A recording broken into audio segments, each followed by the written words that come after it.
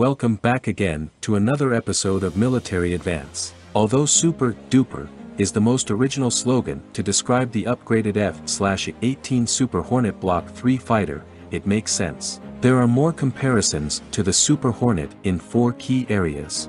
First, Block 3 will, first of all, have a better range due to the new fuel tanks. Second, the cockpit controls are quite far from the aging Super Hornet Block 1 and 2. Third, taking from civilian touch vehicles, the cockpit now has an iPad-like screen.